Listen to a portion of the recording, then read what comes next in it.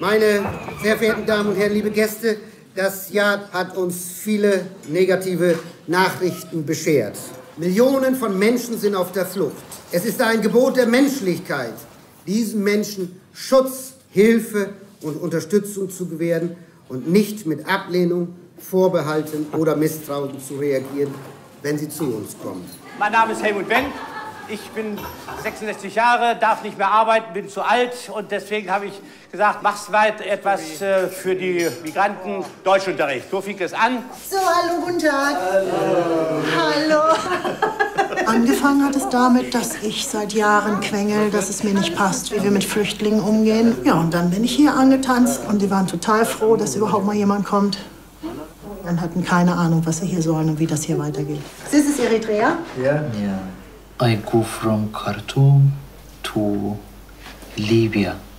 Yes. Yeah.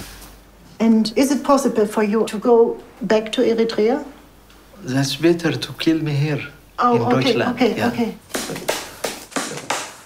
همنا كله والأساس هو والورقة والحاجة هي تغيير حياتنا هسه بقت في الورق زي ما يقول Dieser Stillstand ist tödlich.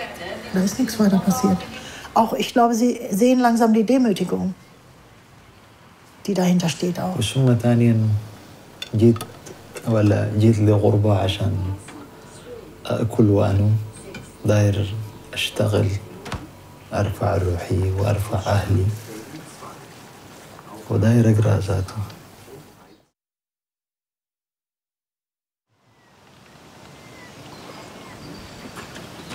Moin.